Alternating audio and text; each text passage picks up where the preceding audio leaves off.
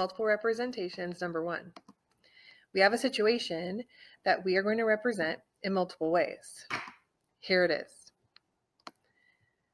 Rex uses two tissues a day. This is a brand new box with 230 tissues in it. Let's represent it. So here's the situation. Rex uses two, two tissues every day.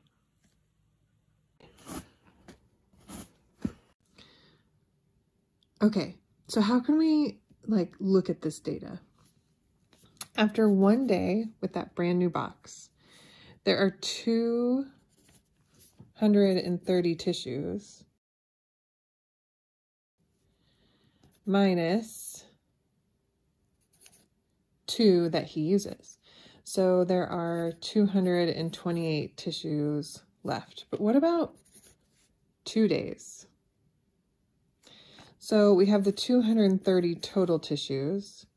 And now that it's two days, I have two tissues per day. I'm going to write that up here. Two tissues per day. This is our relationship. This is our relationship. Two tissues per day. So 230 minus two tissues per day and two days. So now we have 230 minus four. So 226. What about three days? 230 tissues, two tissues per day, and we have three days. So 230 minus 6, now we have 224 tissues.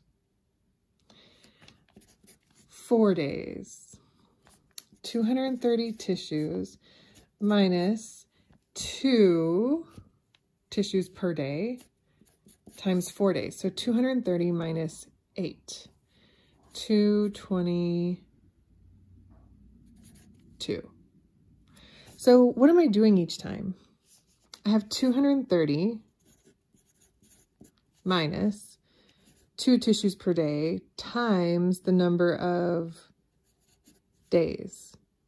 I could use D as my variable. I could use X as my variable. It's just as long as I define my variable. So my number of days, let's call that X. And then the tissues left, that's going to be my Y. All right, let's do one more. Five days. 230 minus two tissues per day. Five days, so it's 230 minus 10. 220 tissues left. So no matter how many days it is, let's do 10. 10 days of using two tissues a day. 230 tissues minus 2 per day times 10. So 230 minus 20 gives me 210 tissues left. So no matter how many days I want to kind of figure out how many tissues have been used, how many tissues will be left over, this equation will help me figure it out. So I'm going to write this as a nice clean equation.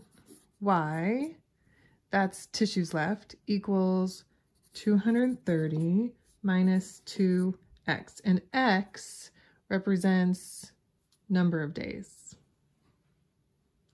So what else can we do? A graph would really be a great representation of this situation and this relationship. So let's make a graph. Okay, let's graph it. So this is going to be my x-axis, and over here I have my y-axis. The x-axis is the number of days,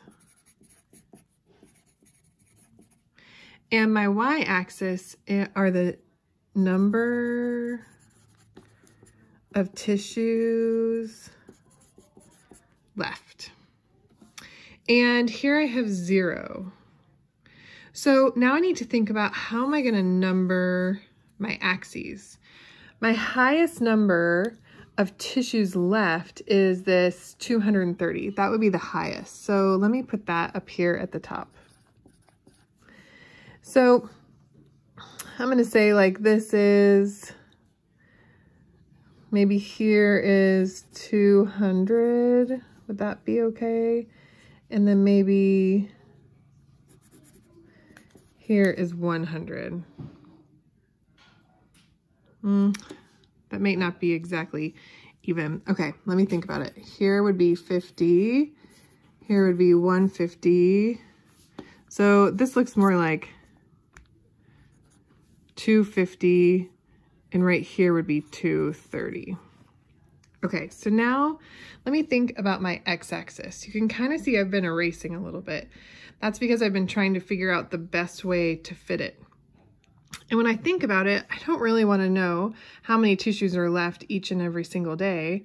I want to know about every 10 days. So I'm going to put go by tens. 10, 20, 30.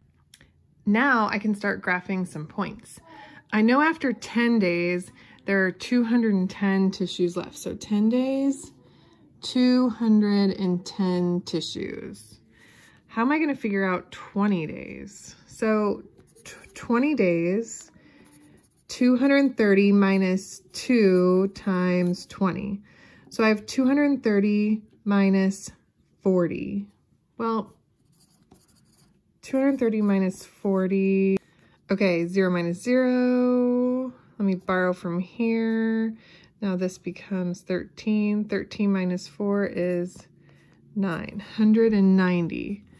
So after 20 days, oh, there's my eraser. After 20 days, about, not about, exactly 190 tissues left at two tissues per day. So let me pick another data point so I can kind of see how this is going to look. Let me go with 60. What happens after 60 days? That would be two months. 230 minus two tissues per day times 60 days. 60 times 2 is 120. So now I have 230 minus 120. 110 tissues left after 60 days. So 60 here is about 110.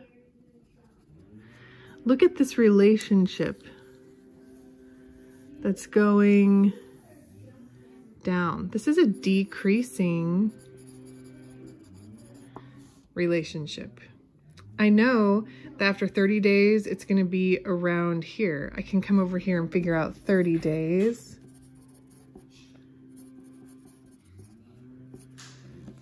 So 30 days, 170. And you can see how it fits right here in my decreasing relationship. And eventually my tissues are going to run out. Eventually they're going to be zero tissues left. I wonder how many days that'll take.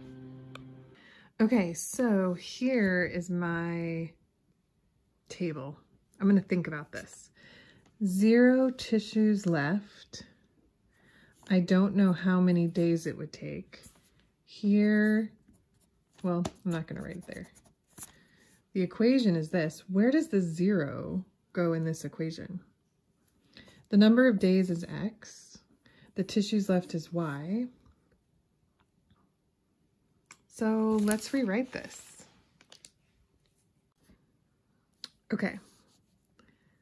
Zero tissues left. 230 minus 2x. Well, I can solve this equation. I'm, you could do this a couple different ways. I'm going to move the 2x over here so it's positive because right now it's a negative 2. Then I'm left with 2x equals 230. because 2x plus 0 is just 2x. And now I'm dividing by 2. So 230 divided by 2.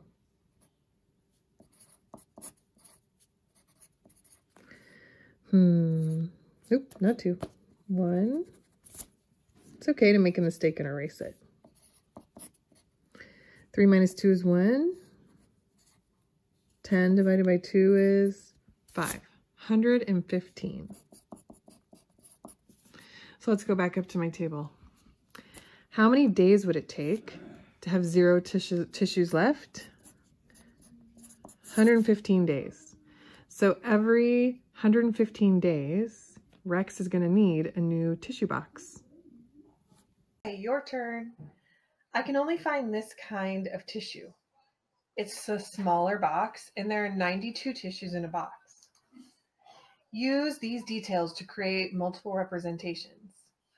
So Rex still uses two tissues per day, but now the box only has 92 tissues in it. Create multiple representations that represent this situation and these relationships. Whenever you're done, check your work with mine by using this short link to open up where I've drawn my multiple representations. Have fun!